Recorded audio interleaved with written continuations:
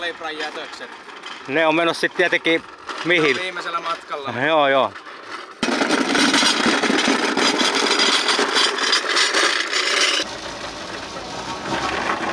Huoltomiehet joutuu kaikenlaisiin hommiin. Näin on.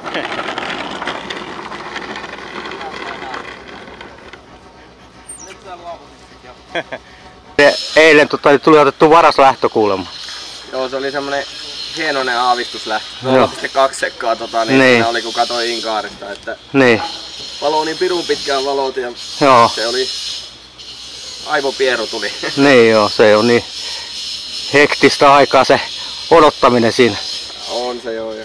Niin, Mut se oli, se oli ensimmäinen vilppi kahdeksaan vuoteen, mitä on ajanut, niin no joo, eka vilppi niin joo. no. No, huonoon paikkaan tuli. no tuli joo, se tippui neljänneksi. Joo, Joo.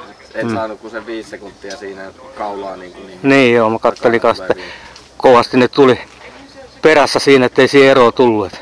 Joo, se ei, vaikka kaikkeni yritin, Niin joo, en, en joo. saanut sitä niinku Joo, sen niin, enempää sitä Niin. rakoa. joo. Ei se niinku sekuntikierroksella ei riitä vaan, että No, no, 15 niin. niin. sekkaa pitäisi kurvaa. Mm, niinpä. Niin, niin. No, mitäs tänään lähtöruutu on, mikä lienee? Ykkösruudusta, No niin. ykkösruudusta että tota, koitetaan tänään lähteä silleen, että valot No sammuu. niin, joo joo. Ja, ja sit vaan, Mm, sit vaan ajella, ajella maaliin ja mm, varmasti kovaa kisaa tulee, että, niin. että siinä on.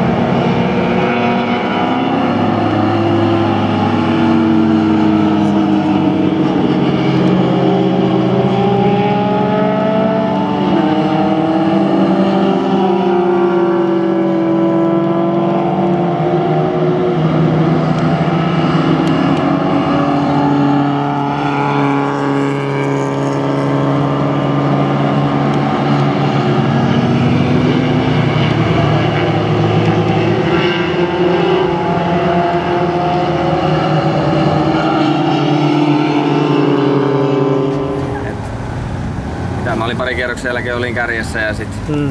Niin vetoakseli leipo kiinni ja lukko hajosi. joo. Et ei se, ei se, kyllä se koittelee. Ei se, Niinpä, niinpä. täytyy keksiä varmaan joku uusi harrastus.